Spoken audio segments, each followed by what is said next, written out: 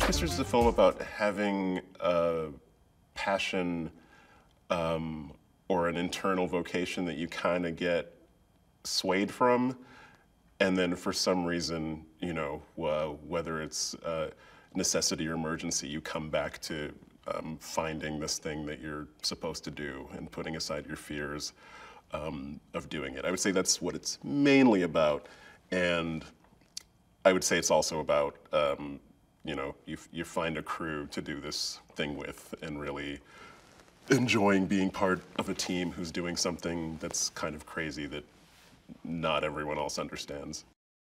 You've got these, you know, call action, wind machines, startup, pre-action, you call action, and it's just chaos, people running everywhere. The wind in your eyes, your eyeballs are drying out while you're trying to deliver lines and trying to find the people you're supposed to deliver lines to. Um, so that's, you know, you say like, what's that like to act against? It's like, there's not a lot of acting, you know, going on. It's like the adrenaline of of that action. Like like my bo- my brain knows it's not real. My body does not know that it's not real.